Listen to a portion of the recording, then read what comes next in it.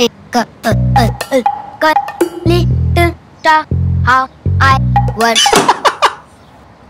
सीखते सीखते थोड़ा बफरिंग होता है ना?